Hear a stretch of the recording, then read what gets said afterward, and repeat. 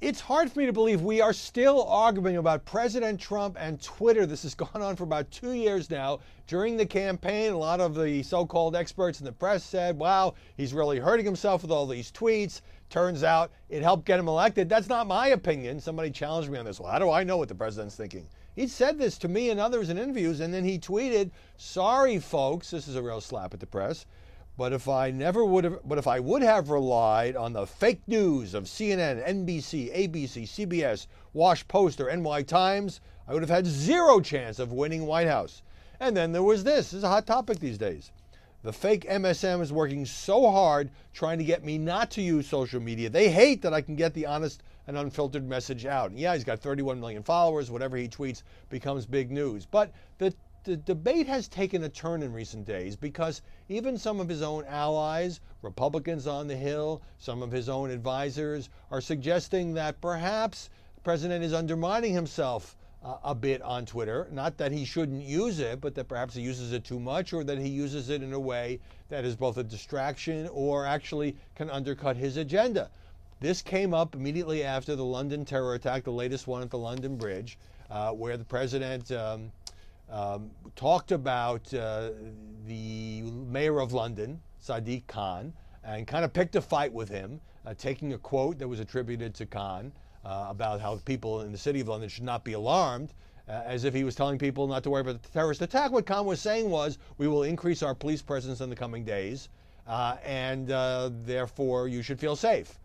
so that, of course, prompted a back and forth between Khan and President Trump. And there was also, you know, rather than the usual sort of bland unifying statements uh, that presidents often issue after a terrorist attack in another country, there was a pitch for his travel ban. In other words, turning it to domestic politics. So he got a lot of media criticism for that. Uh, and look, you know, it, I don't think it particularly helped him uh, to be having this transatlantic feud uh, with the mayor of London at the time.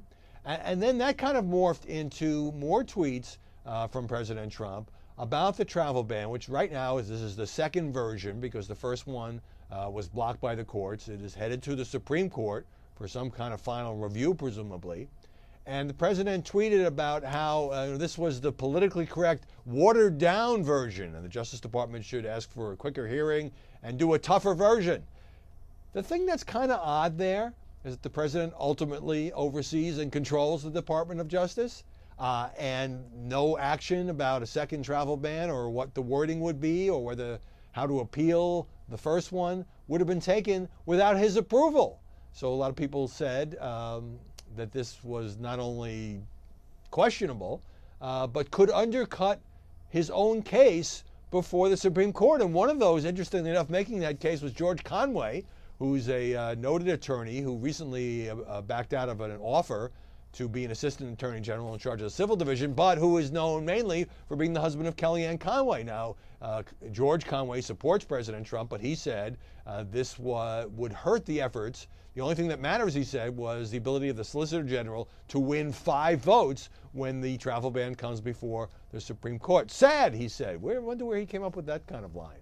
Um, and, and so you know, Trump sort of doubles down and triples down in this situation, and uh, I happen to think, as much as it ticks off the press, which is often the target of many of these tweets, uh, that it is a very effective mechanism for him.